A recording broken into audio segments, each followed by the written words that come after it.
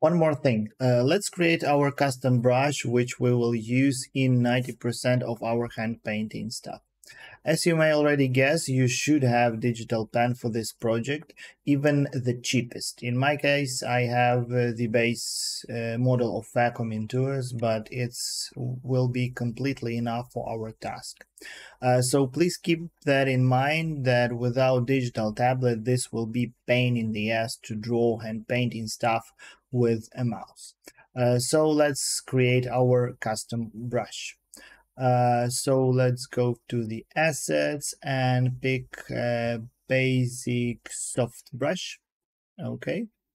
Uh, for this one, we need to create some paint layer. It doesn't matter where. And uh, yeah, let's double check it. This is basic soft and uh, size, let it be two for now. Disable uh, the pen pressure because we don't want to change the size uh, of the brush by pressing on the digital pen, uh, but only the flow. So we would like to have uh, uh, increasing the flow of the brush when we press a pen. Uh, and the flow for our case um, is a great option 50 and the stroke opacity is 70.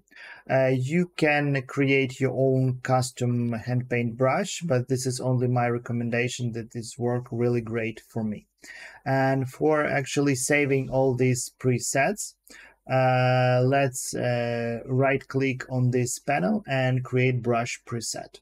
And let's go to the asset uh, folder. And over here you can see we have a new brush preset. Uh, let's uh, rename it. For about hand paint hand paint base. And add to favorites as well. And now every time when we will open our uh, asset libraries in the brush panel, hand paint brush will be always on the top. Uh, so, okay, this is it. We will create our base uh, hand painting brush, which we will use in 90% of, uh, of all our hand paint stuff.